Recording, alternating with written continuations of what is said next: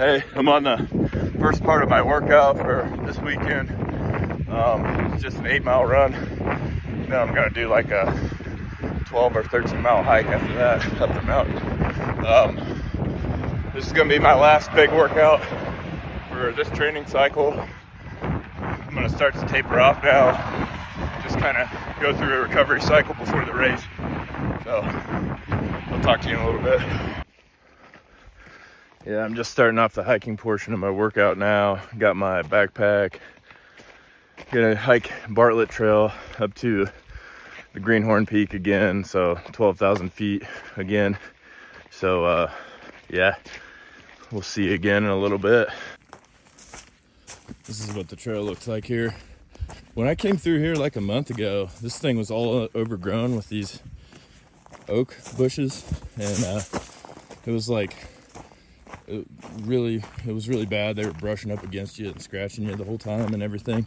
And some like trail riding horse horse group came through here recently and did a bunch of trail maintenance and really cleared this stuff out nice. So i wish i knew the name of them um, but i just want to give a shout out to that group. I don't know that's pretty pretty badass that they they do that because this trail is so much nicer now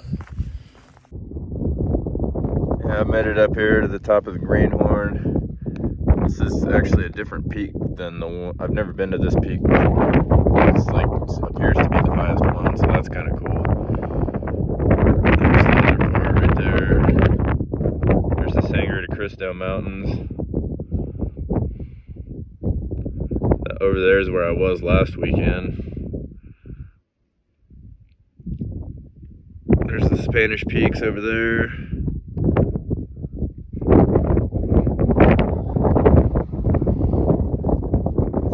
Time to eat some snacks, take some caffeine, head on down. They don't know me, son! Who's gonna carry the boats? A little David Goggins action for you. Guys, last time I did this trail, it was like super overgrown with these like oak bushes everywhere and it would just like rub up against you and scratch you on the way down. And uh, this organization called Levita Trails came in and cleared it all out. And it is beautiful now. It's like pristine, easy hiking. It's pretty awesome. So shout out to Levita Trails for clearing this trail up and doing maintenance on it. That's awesome. Uh, yeah, so I was wrong about that hike. It was actually, I thought it was going to be 12 or 13 miles, and it ended up being 17 and a half miles. So between that and my eight mile run this morning, that brings my total to 25 and a half miles for the day.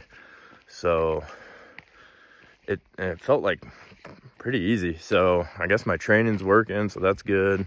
And that's the end of my training cycle now. So like, I'm just going to be doing easy stuff and like chilling, eating steaks and stuff from here on out until the race. So yeah,